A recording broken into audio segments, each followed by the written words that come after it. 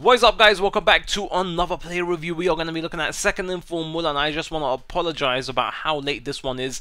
It's just that third inform Messi's and packs and things have been hectic with pack openings. So if you guys are looking for a cheap and reliable place to get your coin, check out Battle.com. The link will be in the description and use the code ITANI to get 5% off. If you're looking for PSN cards, Microsoft points or cheap games, check the link also in the description.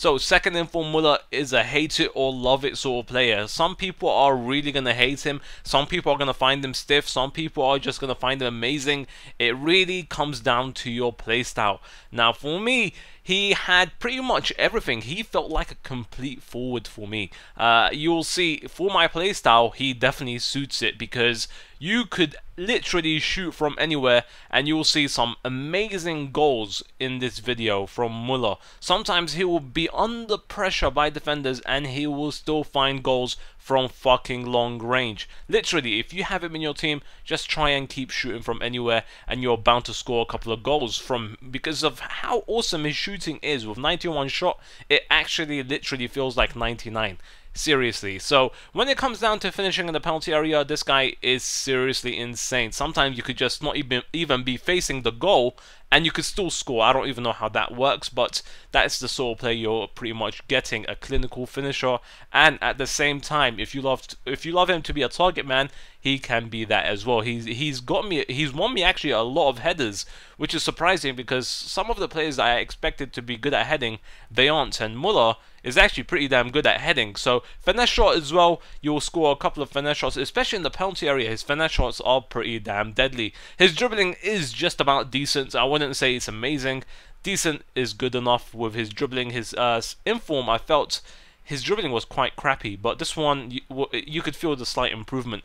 Decent agility, you might be able to turn a bit with him. I think that's what lets down his dribbling. His 80, 84 dribbling on his card seems good, but his agility kind of lets him down. So he has just about a decent agility, and what I would advise you to do is not sprint too much with him if you want to score some deadly goals.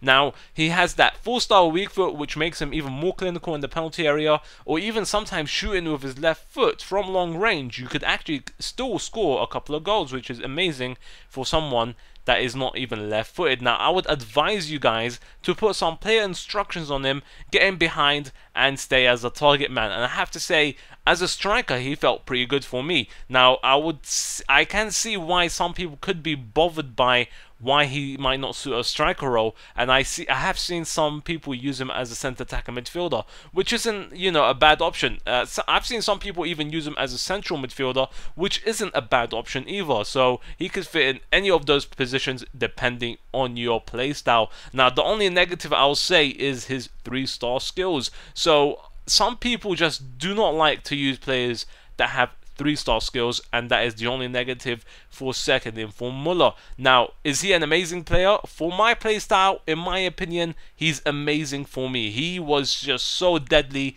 and every team I came up against, he just thrashed them. Now, I have to say though, I did come up against a couple of teams that even had second inform Muller, and he did nothing against me. So um, basically, all I'm trying to say is he is a hate it or love it player. So some people are really going to hate him, and some people are going to find him brilliant. It all comes down to your playstyle. Hope you guys enjoyed this video. Hit the like button if you found it helpful, guys, and make sure you let me know in the comment section below what did you think of the goals in this video? anyway, hope you guys enjoyed it. Muller's going to get a 9.8 out of 10.